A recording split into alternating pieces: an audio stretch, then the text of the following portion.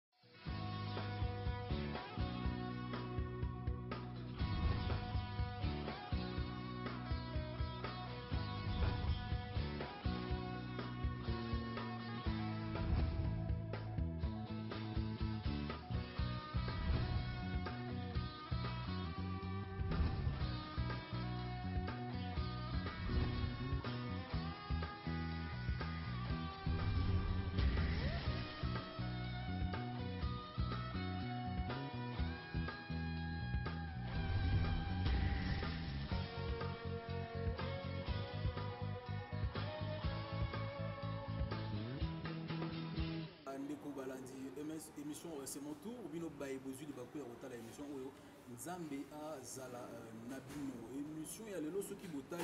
kaka euh, lolenge nalati bokocomprendre c'est vraiment une émission oyo nato kosala yango brisque une émission instantanée parce que naye na niveau ya église centre de réveil spirituel makambo oyo namoni na kati ya etonga oyo ya nzambe etindi ngai na supplie bainvité oyo tona bango lelo awa basali na nzambe pour que bafongola mitema lelo vraiment baexplike biso ce qui se passe réellement oyo ngai namoni na kati ya etonga oyo eza nini exactement na ebandeli ya émission bomoni baimage wana oyo euh, euti koleka wana ya triomphal 1 ya euh, triomphal 2 euh, bomoni baimage ya, ya marche to mpe ya, ya jour ya dédicace bato nyonso bomoni wana ebele bazolanda epai oyo nzambe oyo bango bajuge bon nzambe ya solo Et azali na 3 ans eh, ya pamba ce du jamais vu eloko oyo ezolekela mayele na yango ezolekela mpe mayele ya bato ebele yango wana na 3 ans ya pamba batongela nzambe un temple ya monene digne de ce nom et na 3 ans ya pamba bato balongwaka mikili ya poto dans tous les coins et recoins du monde bayaka tous les jours na niveau ya église to mpe ya temple oyo centre de réveil spirituel mpona koluka nzambe ya solo bayaka na badifficulté bayaka na baproblème oyo baza koluka solution me bazongaka na esengo epuis na basolution na baproblème na bango église oyo ebanda na mujimai eye ya 3 ans seulement na ngai na bino tovandaka na mboka kinshasa bango mpe baza libanda ya mboka bayebi kinshasa mpe na masolo kinshasa c'est un terrain glissant epai oyo bandimaka moto n'importe comment te mpe bandimaka n'importe qui te mais na 3 ans ya pamba baaccepte mosala na nzambe bayamba ye bayamba mpe nzambe na ye bavandisa mosali na nzambe na mitema na bango bandima oyo mpe azali kosala eza biloko oyo etindi ngai na mituna mituna ebele na oyo mpe namoni lelo etindi ngai mpe na mituna mituna ebele cestadire mituna oyo ngai na mitunaki na oyo bino mpe certainement bokomituna tokotuna yango epai ya bainvité na ngai na émission oyo tosali briske nde nalobi ya émission moko eza préparé te tokozali tokutani makambo namoni yabi nokana na mopanzi sango tika nazwa yango napanza mpe sango ya makambo ngai namoni yawa tokobanda euh, na bainvité na biso to na bango sur ce plateau j'aimerais bien ce que euh, moko na moko ase présente aloba nkombo na ye epuis aloba aza nani na kati ya etonga ya centre de réveil euh, spirituel tokobanda na ngambo ya loboko ya mobali tokopesa maloba epai ya ndeko na biso na loboko ya mobali apesa nkombo na ye epuis aza nani na kati ya eglise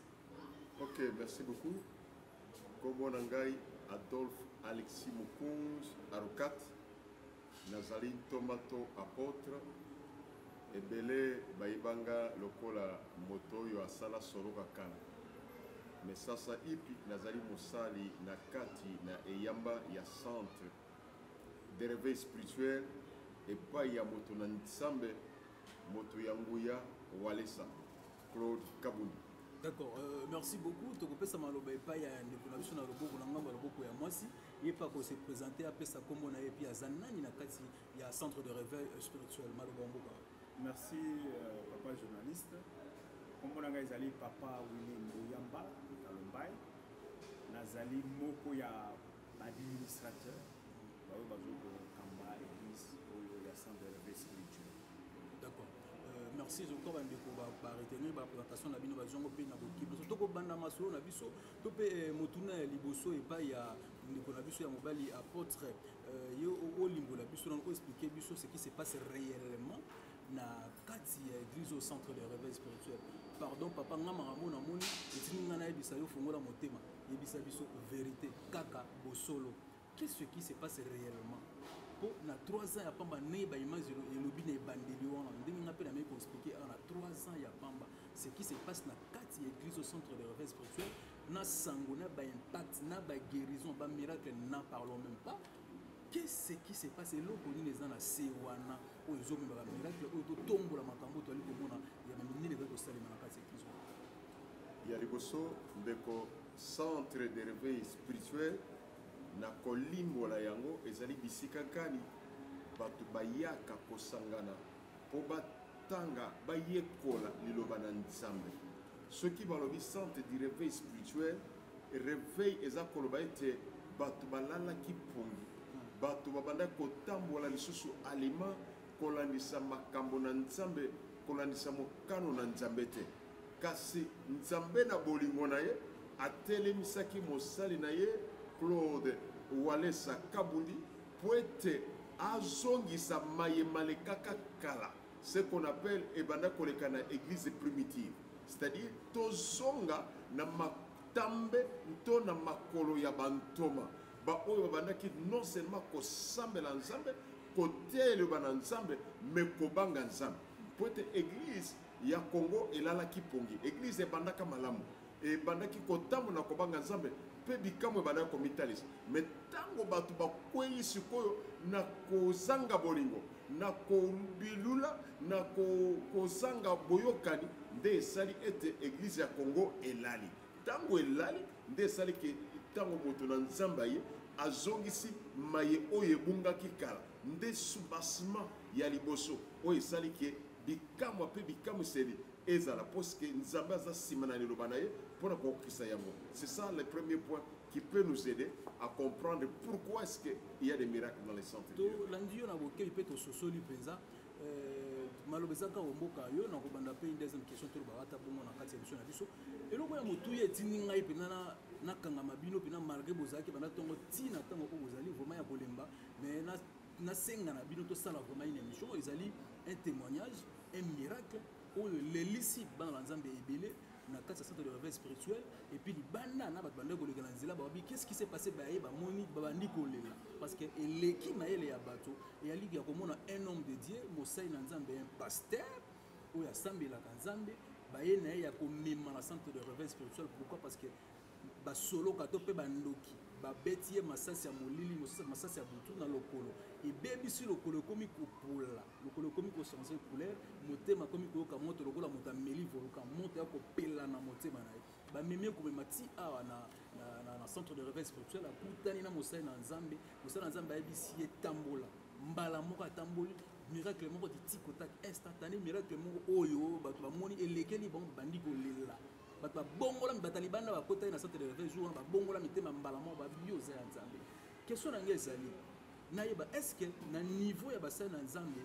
bazalaka na badegre to mpe baniveau ekeseni parce que oyo ayaki oyo bandoki bazwaki wana babetaki ye masasi aza mosali na nzambe azali paster mais aye kokutana na mosali na nzambe mosusu abiki to ye moko aye abiki batatoli monene ya nzambe oyo mosali ya nzambe mosusu azala est ce que non question liboso yango wana degré to mpe niveau ya basali na nzambe ekeseni question wana orépondre yango mpe sous question mpe ezali par rapport ya témoignage savant defo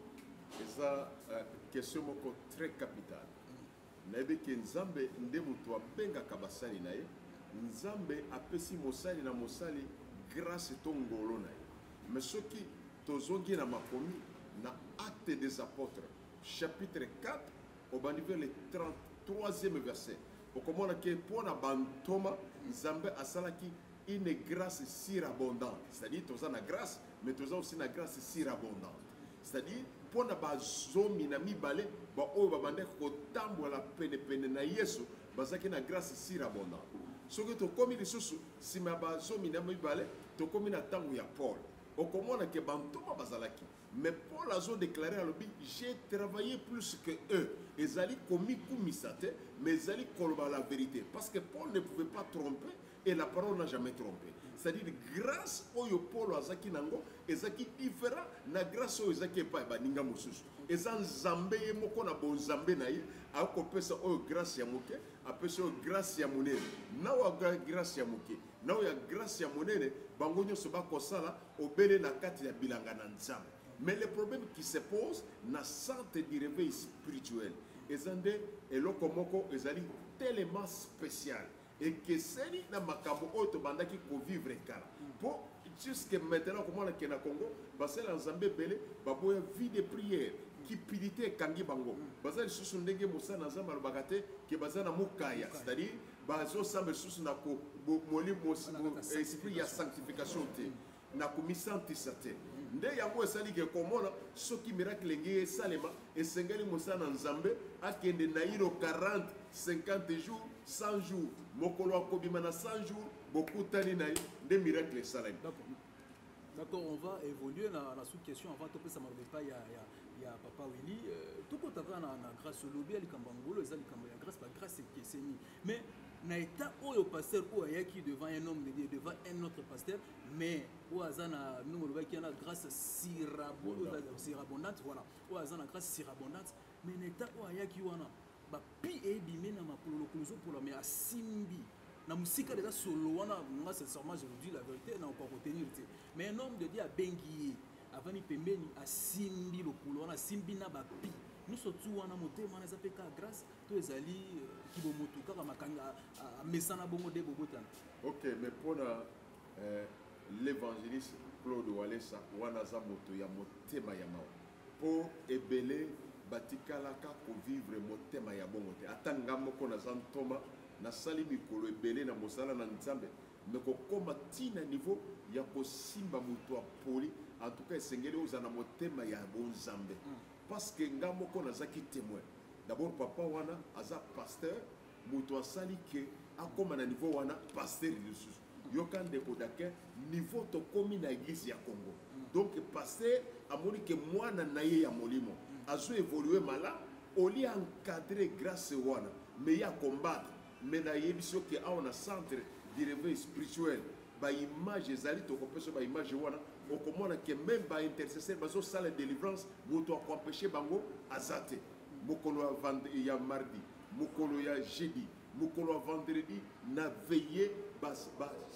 bajeune serviteur basalaka sans kokomona biloko ya bongo mais tala ke pasteur na ye titulaire ntoma na ye ayokeli motema mabe akei kotie maladi ya mbaso mais ce qui est important yeba ke mosali na nzambe eza mbala ya liboso te ya kosimbaka bato fina wana eza motema ya mawa ami ayoki mawa compassion ya moto wana ntango asimbi na motema ya mawa na compassion meme nzambe amoni kalite wana e, ya mibale nazoloba ke d'abord assurance azaka nango parce que nga moko nazaki témoin abimi na bureau alingi akende na ndako bacroise na motu na nzela peut-être alingi aloba ke nasi nalembi peut-être nzambe akimaki parce bato mosusu bazala na nzambe ya ndambo hmm. aza na ta moko nzambe aza na systeme ya saint esprit ya kala hmm. azo eterire ekolo ya moto ta moko boye akimi na moto azongi normal hmm. mais epai ya moto na nzambe eza bongo te ocroise ye ata auti kodame d'abord losambo ya koforce te alobi kaka maloba moke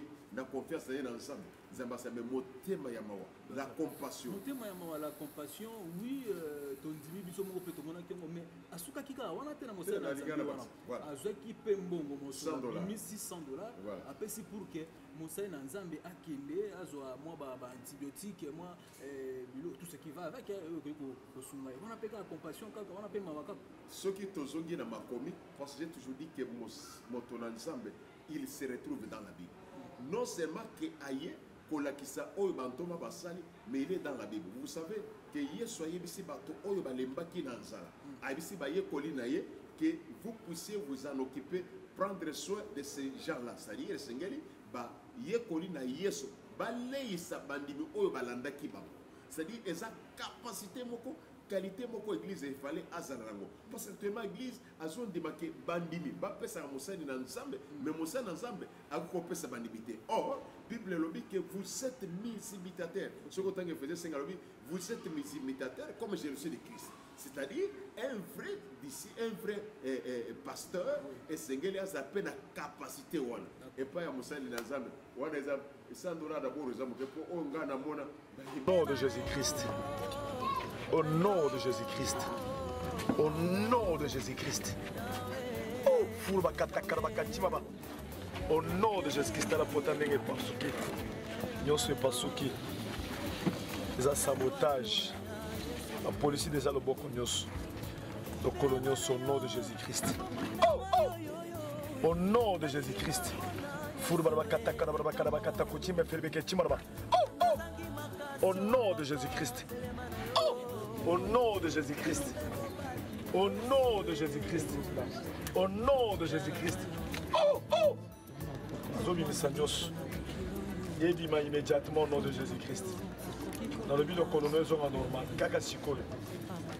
Au nom de Jésus-Christ. Bima mabe bima na nzoto na yo. Au nom de Jésus-Christ. Au nom de Jésus-Christ. Au nom de Jésus-Christ. Lipote ekauka immédiatement au nom de Jésus-Christ. Oh, oh, oh, oh. Nzambe sala bikamwa na minute oyo mwana azwa délivrance. Serviteur na yo azali attaquer. Azwa guérison immédiate au nom de Jésus-Christ. Loboko Nzambe se manifester. Ale nazobwaka na se. Nalobi ba douleur ekende na se. Mokolo esi epoli ade miracle ekauka kasi sikoyo miracle esalema immédiatement moto jésus basabotage nyonso basabote elongo nalongoli nazotya yango na se nalongoli nazotya yango na se nalongoli badouleur nazotya nalongoli puissance nazotya na se au nom de jésus christ natiki lokolo ezongi normal au nom de jésus christ amen, amen.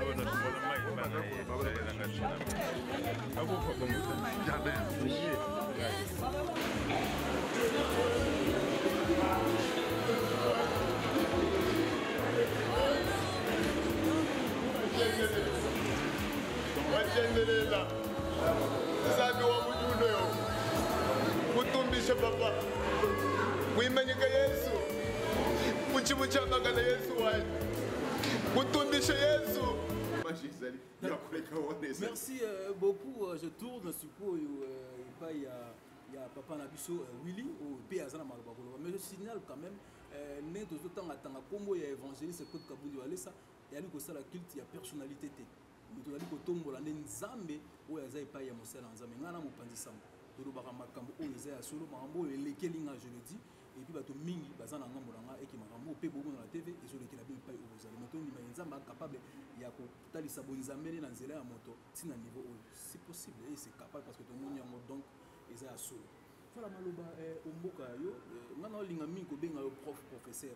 pourquoi parce que toyebi euh, la science et la, la religion mingimingi ezalaka lokola de droite parallèle c'est-à-dire ezoki lokola nzela moko mekutanaka te soki fo nakota na mwa mozindo mwa mingimingi ezalaka lokola opposé c'est-à-dire ezalaka mwa mpasi rare alors très rare na moto oyo aza na kati ya science andima religion facilement to mpe na bopete yo oza moto ya mayele oza moto ya science mais tomoni yo awa c'est-à-dire ondimi religion pire encore okomi mosali na kati ya etonga ya nzambe oyo centre de réveil spirituel mpo ondimi otikala owumela seko na seko penepene ya mosali ya nzambe motuna na ngai ezali eloko nini econvaincre yo eloko nini ebengi yo bino bato bondimaka bonzambe to mpe religion na pasi me yo ondimi yango na facilité na pete eloko nini oyo emarke yo penepene emosali na nzambe mpe na kati ya église au centre de réveil spirituel merci euh, papa dakin c'est comme apôtre auti koloba wana omoni soki omoni moto aza na nzambe alakisi nzambe wana ya ba potre ça ne peut que convaincre ozokomona soki otali babilili mosusu peut-être na batango mosusu bakolekisaka yango okomona magicien azoyaka bazokosalaka neti euh, épreuve de force mais magicien akwei parce que eza na bapaster mosusu balesa bango bi mais otelemi omoni homme de dieu akweyisi magicien et magicien se convertir et ce n'est pas que ce cas là tomoni baka mosusu ya bamama bazobota te mosali ya nzambe abengisi bango sur inspiration de dieu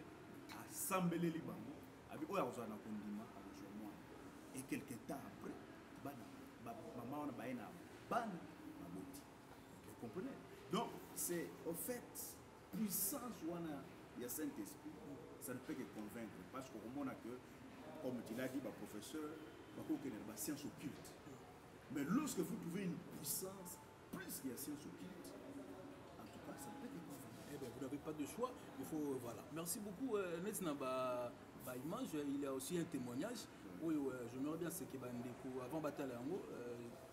avant batala yango eza ya, ya, ya, ya ndeko moko commerçant asalaka baaffaire na ye homme d'affaires akenda na niveau ya na mboka ya chine akomi na chine euh, il s'est passé quelque chose horrible misu mbala moko azomona suta akomi aveugle ntango akutani na mosali na nzambe alliance to mpe bonzambe egangi ndeko wana amona na pete c'est-à-dire ezalaki makambo kende gauche to kende droite te nasimba mai namela mafuta te au nom de jésus mona miso efongami amoni mais sur le plan scientifique euh, professeur ngai nabengo mpena mingimingi professeur sur le plan scientifique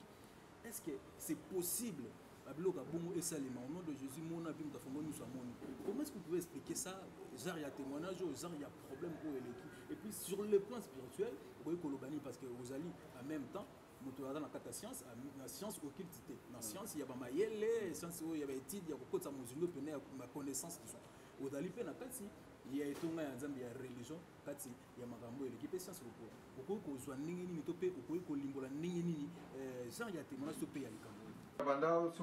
sosala nini calcule nasomba biloko nde sikoyo namonaki ngeli ngeli sikoyo molili eye sikoyo ezipi nga na miso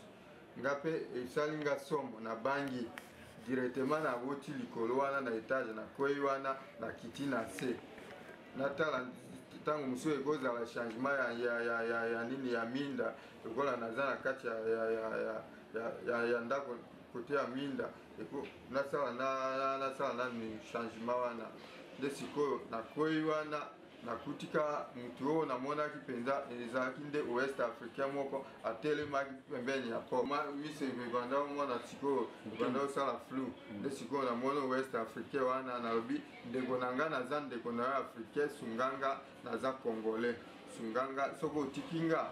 bakoyiba nga bambongo na nga nazomona nazalaki na mbongo na poche mm. mbongo nautaki na yango nazalaki na yango na poche mm. nde sikoyo west africain wana asali neti kobanga mpo toyebani te nga mpe sikoyo nazwi courage na sere ye mpe sere ye makasi nasimbi ye sikoyo na, na makolo kaka wana nde sikoyo nde ezalaki liloba na ngai na suka nakoya wana eh, nayokaki ka atuni nga eske awa oza ata na numero ata ya ndeko na ye ata moko te comme ça tobenga ye nabi fongola na, na sake na nga mopanzi okokuta ndeko nini numero ya ndeko na nga eza na papier benga ye nde sikoyo bayaki kobenga ndeko na biso wana na nsima babengi président na biso ya bacongolais na ndenge bayaka na kobenga ambulance wana nazalaki lisusu mutu te connaissance makambo nyonso koloba te nini te na perdre nanga connaissance na ndenge bakendaki kozongisanga bamai na hôpital kuna na nsima kuna bazongisi nga nini bamai na ntongo na yango ndeko na ngai aye koya wana na hôpital na ndenge ayaki koya kotala nga na hopital sikoyo miso nde sikoyo esali sikoyo ekangami esali flou ezomona lisusu omona lisusu te ezomona kaka moke na congo sikoyo ndeko na nga mpe akati misala na ye mpe akati misala na ye nde sikoyo aye kotika nga akomaki vendredi papa tokei tozwa traitement balobi o makila eza ya komaka tokende babi o bokende na kalembelembe bakende bakende odimine makila tokei kuna babi o makila eza ya kokita batali tension tension eza normal azoka vertige nazomona te azolelalela kaka ozwa ye yaka na ye fukama na se oza na kondima kebisina ezofongama oyebi ke eloko wana eza kindoki bo basalaki yo balingaki baboma yo epuis donc nazobondela mpo na yo nzambe asunga eza za bitumba tala kaka ndenge oza wana baboto ete bo 55000 dollar ozwi 26000 dollar et par après oye kozwa su problème okwei mbongo wana elingaki ebunga yo nyonso olinga mpe okufa na eza basali de façon ekobika donc nazobondela mpo na yo oyoka malamu okangama na nzambe ozalaka na saint esprit oyebaka saint esprit oyebi yango te oyebi yango me ozalaka nango te parce que moto aza saint esprit kosolo ndenge wana te fo kosambela makasi ozalaka boyokani malamu na kati ya ndako boswanaka ntango mobali ava akende boswanaki mais liboso banda koswana makasi eh. abanda kobeta yo eh. makasi eh. yo mpe obanda kosala nini obanda kofinga sikoyo yango osata aprofite akoti bezosamela sikoyo bake babomi babeti mobali ozomona po evitaka makambo ndenge wana bozokwesa satan na kati ya ndako yo ozofinga ye aliye azobeta yo sikoyo akei ntango sikoyo obandi koya ozolelela nga paster na nga etala boye etala boye mwasi mobali na nga azomona te boswanaka susu te na kati ya ndako nazobondela mpo na yo au nom de jésus christ au nom loba de jésus christ ah, miso na ezomona sikoyo eloko nyonso bandoki batie na kati ya miso na nazolongola yango natiaki biloko moko ya flou mpo omonaka te nalongoli yango immédiatement au nom de jésus christ nalobi miso na yo ezonga ndenge ezalaki emona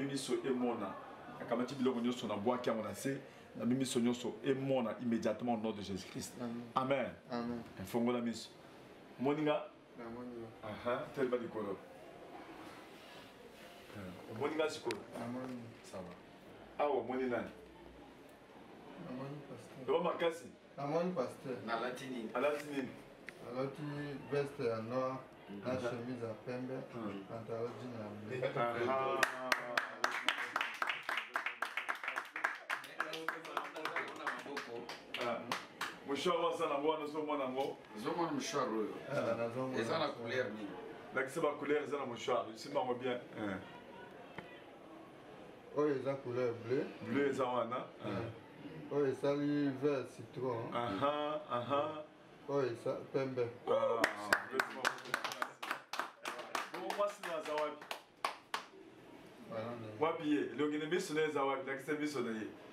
eh. merci papa dakin omoni soki otali sur le plan scientifique mpona koexplike makambo oyo molimo ozo kosala okokóma na koexplike yango te parce que même soki otangi na proverbe balobi ezali folie pour le monde ezali folie pour le monde dans la mesure où bamakambo ezosalama wana science oyo biso totangi na classe ekoki koexplike yango jamais nango opesa exemple lorsque bana israel baaki na egypte baoke na canaan babimi banyoka bakomaki koswa bango Alors, pour na kobika, Dieu a dit à Moïse a élevé serpent des reins, nyoka na motako. Nyoka wana ezakaka neti ya kopato kokoloba. Mais banyoka bakomaki koswa bango soki kaka yo otomboli misu na yo otali nyoka wana ozwi guérison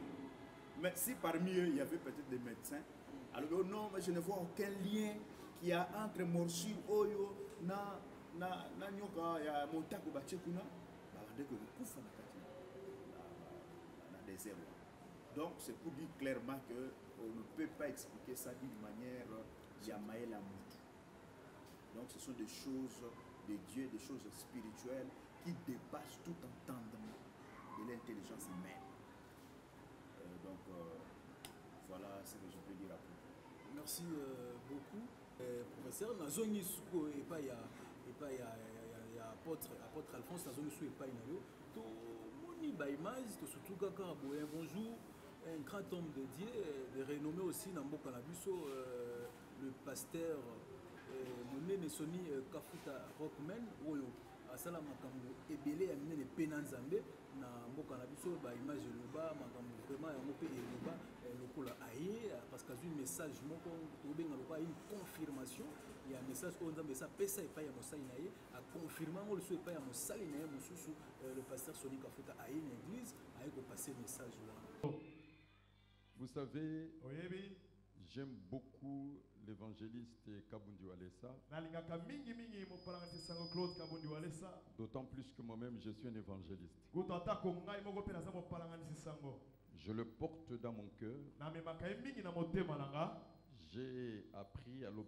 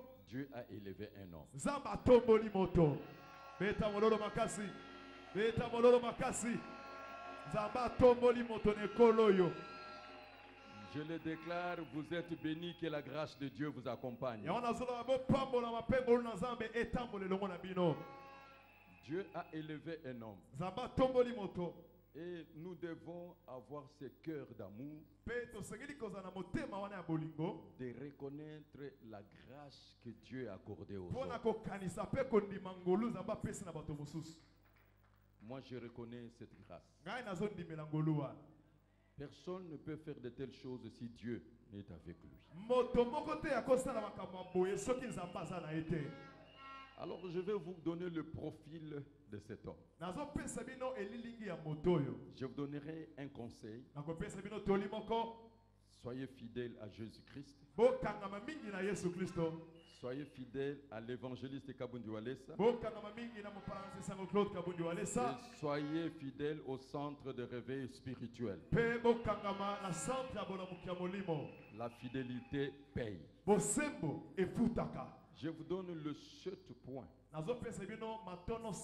que le Saint-Esprit m'a révélé sur sa personne. Et j'ai eu trois songes. Mpe nazwi bandoto Mais misato. aujourd'hui, je vais m'arrêter à un seul songe. Lelo nakosuka kaka na ndoto moko. Parce que le reste, Mpo ete oyo etikali je lui ai dit en particulier, la sagesse l'exige. nalobelaki ye na nkuku oyo bwanya ezosenga. J'aimerais vous dire une chose. Nakolinga koyebisa bino eloko moko. La première chose, Eloko ya yambo, j'ai béni aussi Les pasteurs. Na pamboli pe ba pasteurs ba bateli pate. Qui sont ici. Oyo bazali awa. Toute la toute la famille. Libota mobimba. Et l'équipe qui m'a reçu. Pe lisanga oyo yambinga. Amen. Vous l'écoutez la voix du Saint-Esprit. Est-ce que olingi koyoka mongongo ya Molimo Mosantu? La première chose. Eloko ya liboso.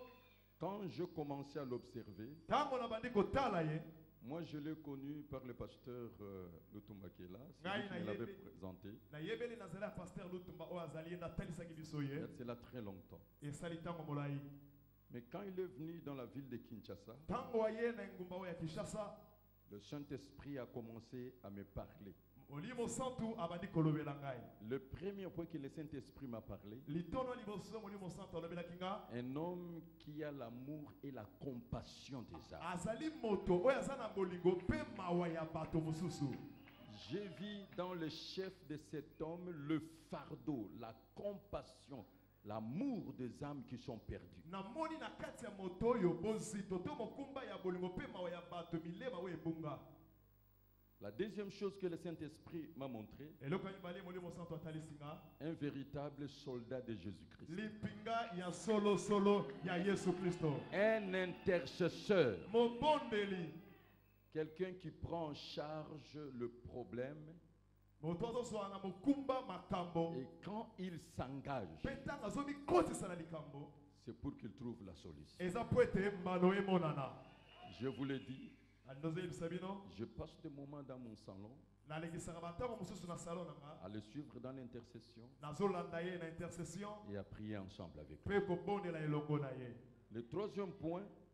Litono ya misato. C'est un homme qui lève le défi. Aza moto oyo atombolaka ba monde ndenge nyonso. Non, le diable n'est pas un problème pour lui. Zabolo epa na ye aza eloko te. Les sorciers ne sont pas un problème pour lui. Bandoki kutu koloba te pamba. L'occultisme n'en parle pas. Soloka kutu tika kaka.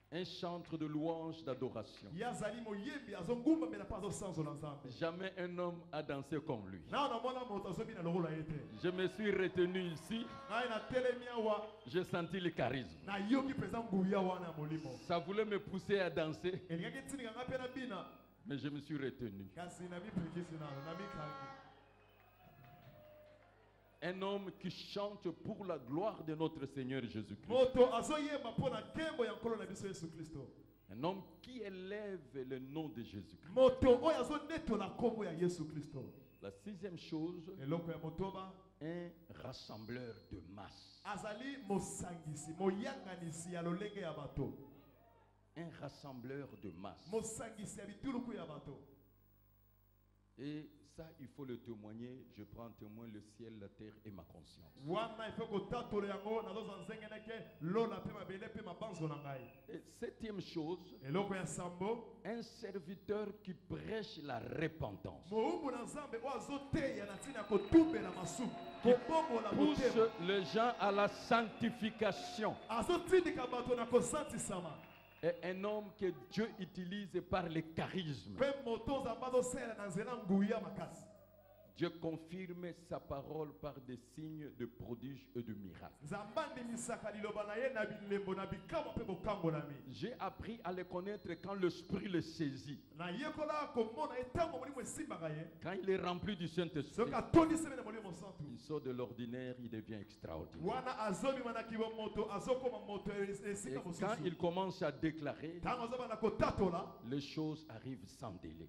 Makambo ezo koma ezo mi pekisa te ndelo pe eza te. Ça c'est l'œuvre du Saint-Esprit qu'il faut reconnaître. Wana eza mosala molio mosanto esengeli kondima.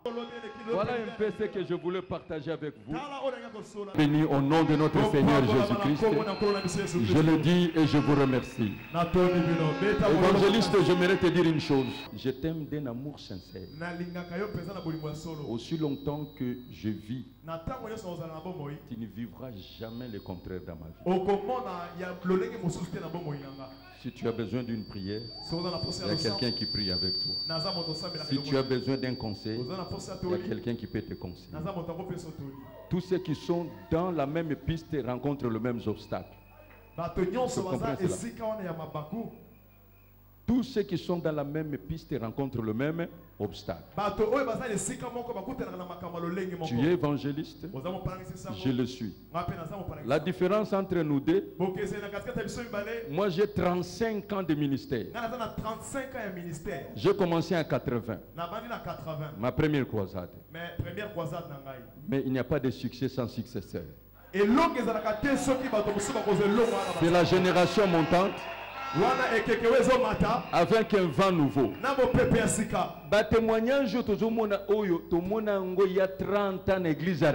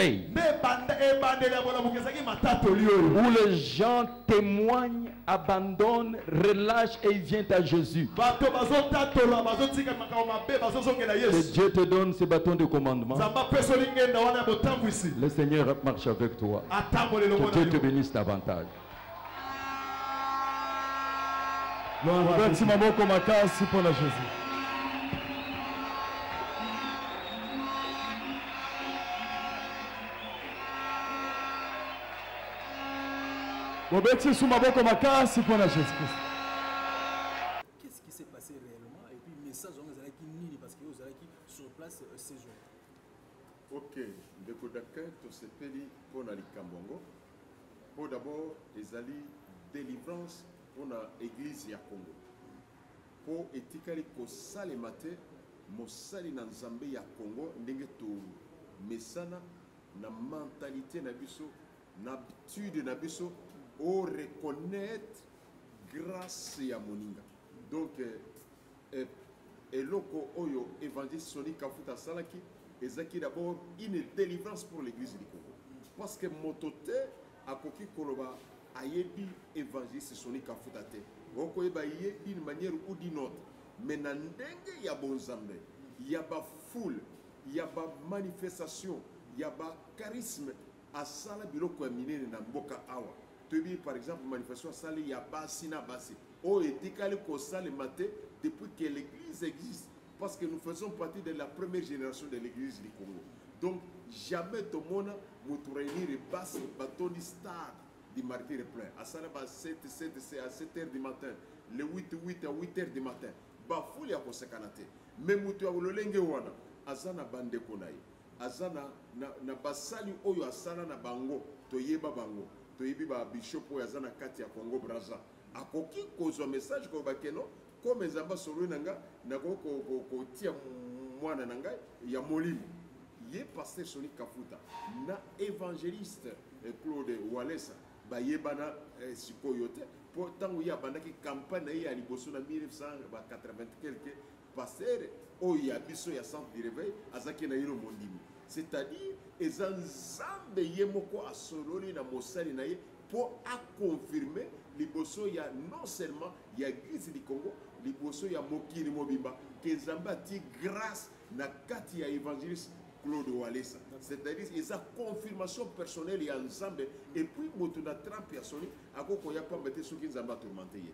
Ah voilà, question na ngai pe na ngai na poser na ngai suka ka esika na tuna soki ezalaki na bobete facilement tanga zui message yango aye parce que nous lobi na ba trap wana parce que toyebi pe que euh, pasteur Sony Kafuta azala amona pe euh, euh, musée Aidina bala zala na église wana azala lokola Euh, euh, responsable ya chorale azala mpe penepene na ye lokola euh, mosali mpe lokola donc amona baserie ya mose adi na bal la plupart ya bato bazala nzinganzinga bandimaka basali na nzambe mosusu to mpe na bonzambe na bango eh, na pete te mais est ce que ezalaki facile mpo na ye andima epuis andima koya obi ezalaki poussé par le saint esprit nzambe atiki ye azangisi ye kimia alobi soki opase message te otika kozala kimia te ezalaki facile to difficile oyebi ke papa dakin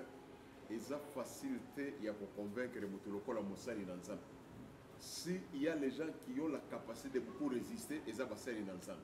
Mutu akotia nga tembe te, boyebi likambo ya prophète Jonas, un grand prophète de son époque, bato basali ba recherche biblique bayebi, maboyeli message na Nzambe. Donc les grandes personnalités na makambo na Nzambe ba résistaka souvent devant Nzambe. Ba musu ba kendaka soki Nzambe abeti ye fimbo. C'est-à-dire eza facile te.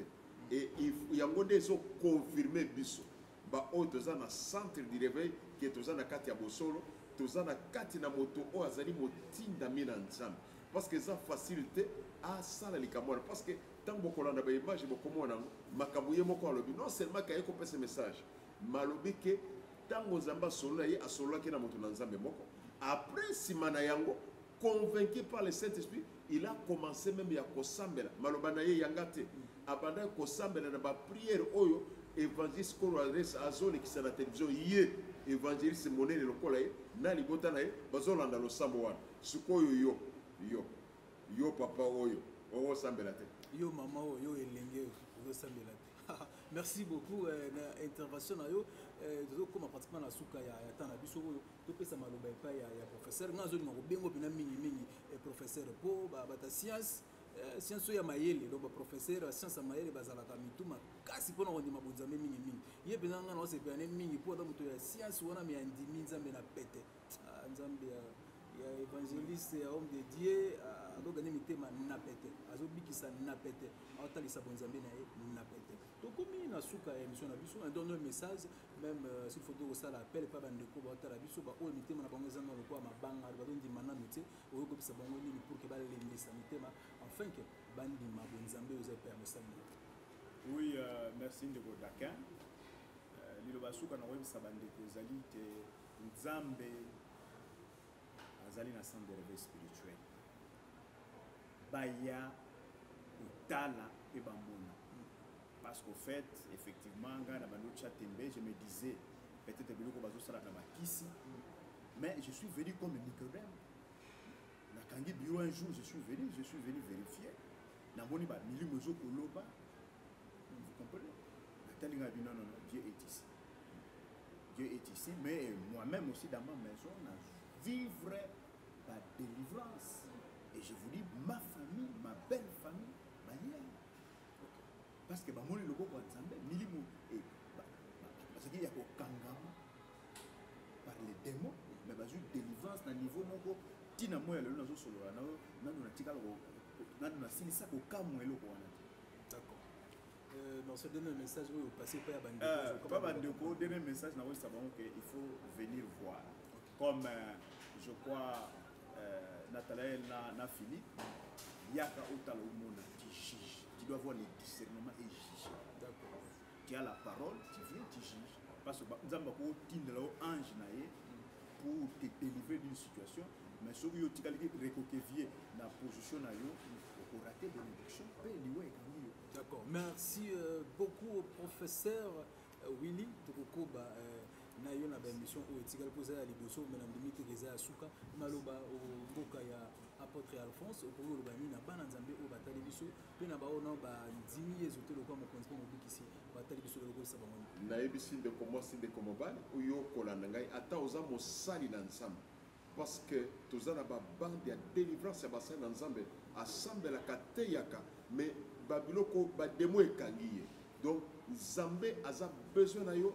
koyesa motema na yo ekenzi te bakata mbango na centre du réveil spirituel nayebi ke ndeko tu peux te poser des questions soki okomi kaka na bon marché otali ancien église catholique oyo ya monene oyo ya kala babengaka yango saint eloi soki okomi kaka na diagonal ya saint era okoti aveni wana nde bokango temple oyo okomona ya kitoko wana yo okomona lokola mwa hotel lokola nde yango wana centre du reveil epai wapi ata okoti mosali na nzambe te yeba te bikamwa na ye ekozala parce que awa tovivaka miracle moto auti mosika na poto akomi na mwana na kati ya, ya, ya ndako ya nzambe bikamwa ebandi deja awa ata moto akombolaka asaka miracle donc miracle awa oza ofele etali moto te etali serviteur te etali servante te ma etali oyo anyati matambe na ye na kati na bisika bademo bazokoma biloko ya pamba bisika maladi ezokoma biloko ya pamba soki oza na kaa wana koyisa motema ekenze te pakata mbango ya kameka nzambe ya walesa mpe okomona loboko na nzambe d'accord merci eh, apatre alphonse euh, émission oyo eza lokola livre oyo tofongoli première page et la série euh, continue yango na kosenga mpenza toloba yango d'une manière officielle opromettre olaka mpe to mpe bopromettre bato oyo batali biso epai oyo bazali mpo ngai nayoki elengi moko nakokoka kotika te émission lelo boye nasuka nalingi tocontinue nango tokeno mpo baimage oyo mpe ngai namoni euh, en tout cas je vous dis tokeno yango moko moko ça prendra beaucoup d'années mpo eza ebele tellement en tout cas nalengaki nayokaki mpe nzoto mpena kolenga laka bango to mpe promettre bango assurer bango que la série continue Nayebisi ndeko mwasi, ndeko mobali oyo akotala biso ete non seulement tokokoba na kolanda ba emissions, mais tokozala na temps ya kosambela mpo na ntina na bino, ya kobondela mpo na ntina na bino, mpe Nzambe akosala. Meme yo ozo kotala na tango oyo, quel que soit problème na yo, na kombo na Nzambe ya Walesa, ozui lobiko mpe oko temoigner, okobenga ndeko Daquin. D'accord, merci beaucoup, ça en est fini pour aujourd'hui, merci. professeur willy merci apôtre alphonse lokola professeur willy atoki koloba awa yo moto ozali kobeta tembe yo moto ozali kondima te okoperdre eloko te soki olobi naya kasi natalaka soki makambo oyo nazoyoka makambo oyo namona eza ya solo soki oye oyo oyokaka na oyo omonaka omoni yango te omoni ke solo eza te kende na yo ndeko mais je tassure soki otika lokolo awa ekezala mpo na yo benda nde libota na yo kozala lokola ema mpo benda babushon nyonso ya libota na yo baya kokangama na nzambe oyo ya solo tokutani bongo très très prochainement pour un nouveau numéro toujours na kati ya ambiance oyo na kati ya bonzambe esika oyo nzambe asala alliance na mosali na ye epuis alliance ya solo alliance yango mpe ezali koganga nzambe ya kumbama tokutani très très prochainement d'ici là portez vous bien au revoir merci beaucoup merci beaucoup merci, merci.